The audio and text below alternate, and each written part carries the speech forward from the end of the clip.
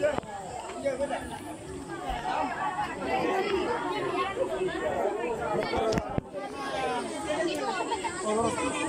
ada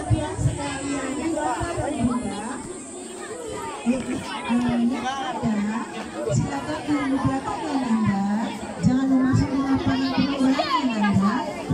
Kepada yang ada dan Bunda, silakan dipersiapkan ananda kita yang akan mengikuti perlombaan egrang egrang itu diikuti oleh satu Ananda Putra satu Ananda Putra dan pesertanya langsung mengambil tempat di sebelah sana ya Ikuti aja lah. kakak-kakak sekalian